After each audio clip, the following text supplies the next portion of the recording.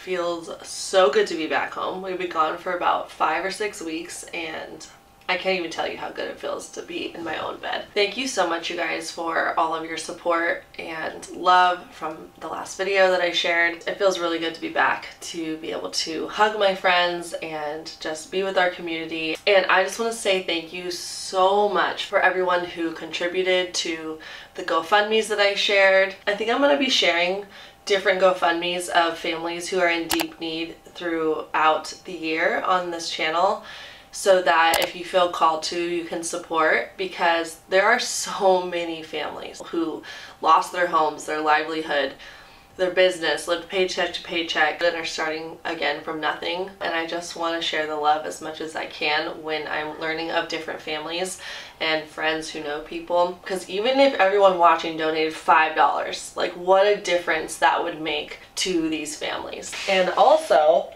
a little update for those of you who purchased my ebook within the time frame where I was doing a price promotion where 100% of the profits go towards the Hawaii Community Foundation designated for the Maui Strong Fund to support families in need. We raised together $13,225 because of you guys. So thank you so much. Andrew and I sent the check in the mail a couple days ago and I will post on my Instagram stories when I receive a receipt in the mail so you guys can see the receipt. So I will update you guys on that. If you don't follow my Instagram, it's Ellen Fisher. And I'll put that on my IG story so you guys can see. I'm just so thankful for this community.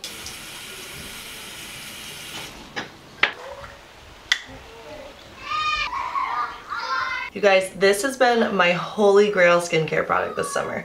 It's a multitasking face scrub called the Sea Glow Resurfacing Scrub that cleanses, resurfaces, and restores radiance in one step. It's made by Osea, of course, which is a clean, vegan, cruelty-free, seaweed-based skin and body care that's female-founded and family-operated. And I think I'll just share with you what I've been doing lately in the morning to cleanse my face and get my face prepped for the day. Two to three times a week I'm using this and then after I cleanse in the morning, I put on the Day Glow face oil, which I'm almost out of, and then I top my skin with the Advanced Protection Cream, which if you watch a lot of my videos, you might have remembered a long time ago when I was talking about this and how it lasts so long. This is the same jar and it just makes my skin feel amazing. And then I add a little bit of the firming eye cream. And I cannot stress enough the importance of naturally derived high performance ingredients. The nourishing whipped texture of this Sea Glow resurfacing scrub washes away debris and excess oils to clarify your pores and it makes my complexion feel revitalized and glowing. And oh my gosh, it smells amazing.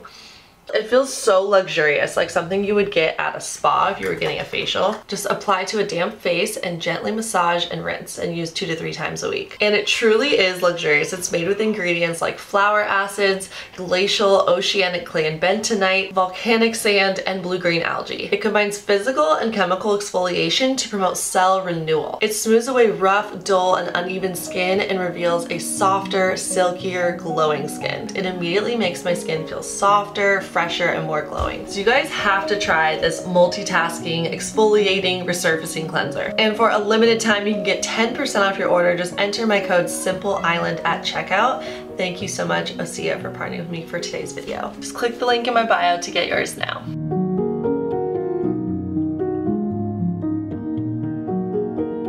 House, we just got back and it's still, all the kids just left because doing homeschool with Andrew and then Andrew got a notification, I don't know if from his friend or what, but they bolted out the door because apparently Air Force One is landing at the airport. Hurry up quick, if we drive quick we can see it from the air. So they're driving now, they're to see Air Force One because Joe Biden's coming to speak to, I'm not sure exactly what he's doing, but he's coming to Maui because of the fires. He might be speaking to people on the west side in Lahaina.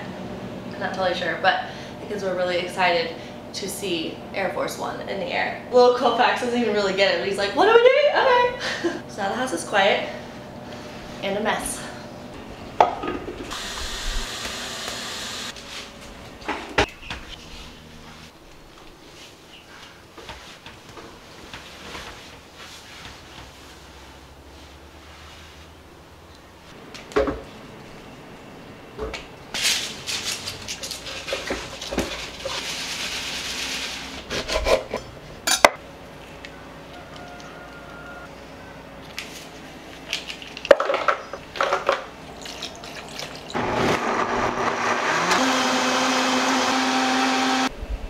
Was it really cool to see Air Force One?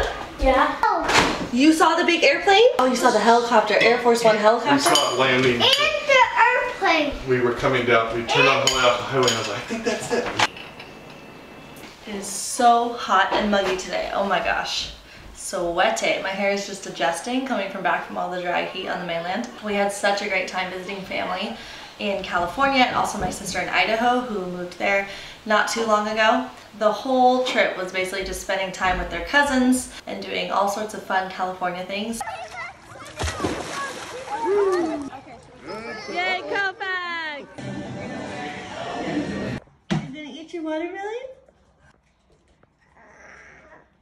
Yummy.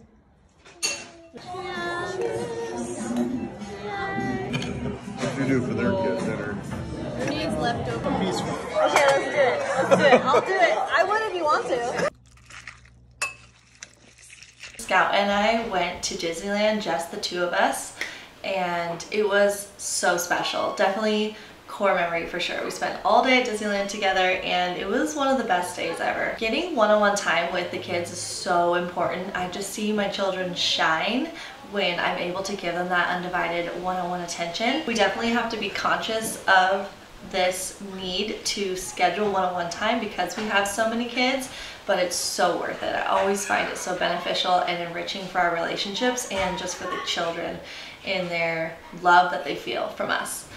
So yeah, Scout and I had the best time. Andrew got to have some one-on-one time with the older boys. They went to Wild Rivers and yeah, it was just so much fun. Every year when we visit family, we squeeze into Grandma and Papa's house, all seven of us to come just integrate into their home, but they're always so gracious. This is Andrew's parents to make room for us. And then in Idaho, we all squeezed into my sister's house and Idaho is just so beautiful in the summer. We have so much fun spending the afternoons at the river and it's super hot and the sun goes down really late and it's just super beautiful. The water's super cold and the kids love floating down the river and throwing rocks and yeah, the kids have such a great time. And then this time we also went up to the mountains. It was a little bit of a drive and it was such a beautiful drive.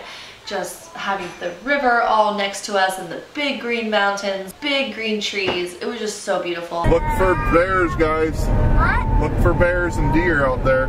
We spent a couple days up in the mountains experiencing the different type of nature up there. The mountains are just so majestic and we got to jump off a dock and swim in a lake. Just a totally different type of nature experience than what we're used to here in Hawaii. And there was this one spot where we kayaked and I'm telling you guys, it was so beautiful. The water was pristine and it was reflecting ourselves in the kayak into the water like that clear and calm and just so beautiful. And there were bald eagles there. We saw bald eagles flying. Bald eagle! Bald eagle! There's an eagle, folks. That was the first one I've seen today. That's amazing. Look at If you're not American, you might not know it's the country bird. It's a very majestic bird that's very special to America. So that was the kids' first time and my first time seeing a bald eagle. Andrew's seen bald eagles before because he grew up going to Alaska in the summers. That was really special and just kayaking with the kids was just amazing. There were these yellow wildflowers everywhere. It was so beautiful. I can't wait to go back next year. We're gonna have to go to that spot and go to the mountains every year now, I think, when we go visit them. There's so many different types of beautiful nature out there, not just tropical, and most of the type of nature that we experience is here in the tropics, obviously, but yeah, Idaho was just beautiful. It's super cold. How tired she is. Well, I've had some good days, And I've had some worse, but none compared to the days that I've had with you. And I've had some high times, and I've had some curves, but none compared to the times that I've had with you. I'd take out a loan for just one day alone run back the time in slow motion.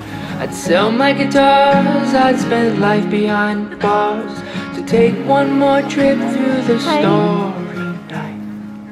Eat it? This was the best day of my life. Thanks for the best day of my life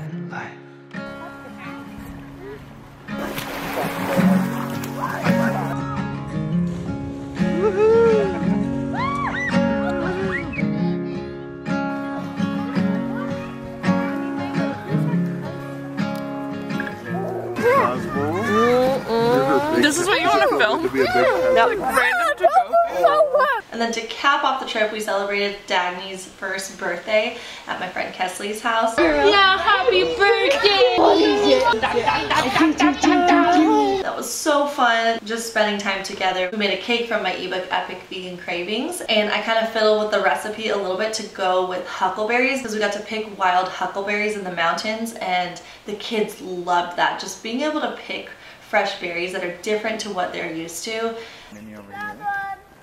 They were so excited. They spent like hours foraging for huckleberries. So I wanted to incorporate the huckleberries into the lemon poppy cake that's in my recipe book. And I normally use strawberries and raspberries, but this one we did huckleberries and like a darker berry jam to go with it. It was so yummy. We gave Dagny a slice of cake and it was just a perfect little celebration with just the three families. Where'd you get Can I have it? Oh, oh, oh. This one's mine. Come on, come on. I got it. Pick it up by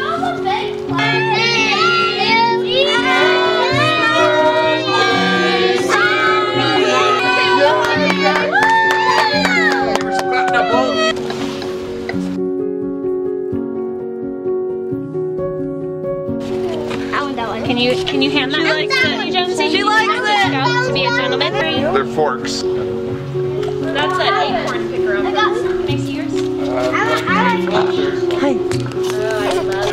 There's a horse. I can't know. I